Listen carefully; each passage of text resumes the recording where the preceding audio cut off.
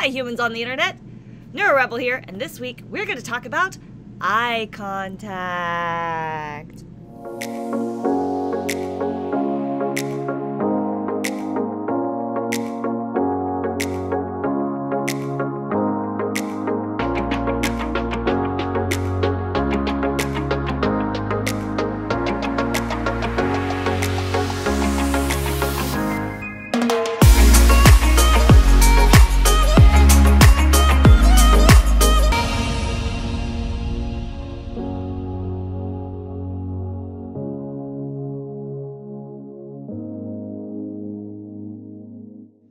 What's the deal with eye contact? Oh, I sound like Jerry Springer. And that is not what I was going for there. Okay, let's get serious for a minute. There is a rumor that autistic people cannot or never give eye contact. And that may be true for some autistic people, but that is not always the case. So let's dive in and talk about this. So, yes, there are some autistic people who cannot, do not, will not, and never give eye contact. But this is not how it is for every autistic person. A lot of us, myself included, can give situational eye contact depending on the person that they are interacting with. For example, I can and do give eye contact to certain people who I feel very, very comfortable with. But eye contact feels like a very intimate experience for me. It is a bit like making out with someone, or it just makes me feel really naked if we are staring into each other's eyes. So, really, even though I can give eye contact with some people, I don't give eye contact with all people, and there are actually people I literally cannot give eye contact to. Uh, for example, there was just this one woman that I had to buy a storage shed from once for work, and I couldn't even look at her face because something about her eyes just.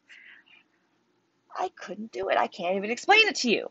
Uh, so, yeah, sometimes I can give eye contact with certain people, and that's my experience. And I've heard a lot of you say the same. So let me know in the comments below if you can give situational eye contact with certain people and you are autistic because I'd love to test this theory because I've, I've heard a few of you say this already. And so, is there anybody else who can do that?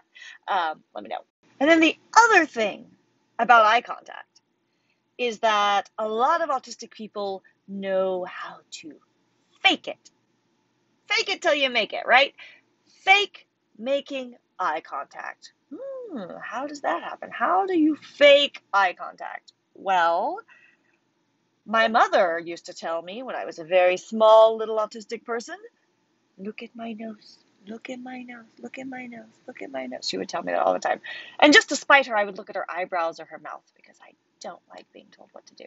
Uh, but really, actually, I look at people's mouths more than I look at their eyes because I also have audio processing difficulties, differences, and I am not a good lip reader, but sometimes reading people's lips, looking at people's mouths, gives me a little bit of a clue as to what someone may actually be saying in the event that I have completely misheard the words coming out of their mouths.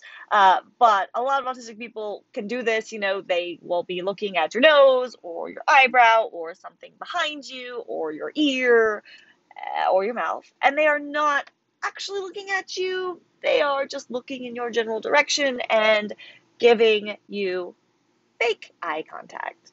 Let me know if you are an autistic person and you do fake eye contact in the comments below because I don't think I'm the only one who does this either. All of this brings me to the other reason we shouldn't be pushing so hard for eye contact, or that eye contact may be something that autistic people are not giving in social interactions and during communications, and that is a lot of us, we are visual processors, and at least for me personally, sometimes looking down is how I compose my thoughts or how I think.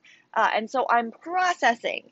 And so I can be thinking and looking away and trying to process something, or I can be looking at you and looking like I'm paying attention while I'm not actually paying attention because I'm too busy trying to make contact with you. Uh, if I have to explain something that is not easy for me to explain or requires a lot of recollection, not as noticeable here when I do these computer things.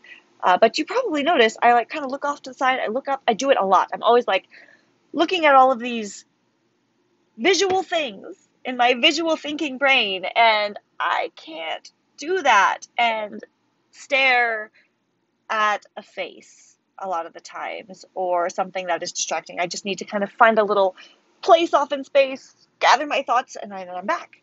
I'm back. So I don't need to look at you to hear you. In fact, if I am hearing because I am drawing mental pictures in my head, sometimes that can be very counterproductive because then I'm not able to think and process because I'm too busy looking at you instead of building the mental picture I need to understand what's being said.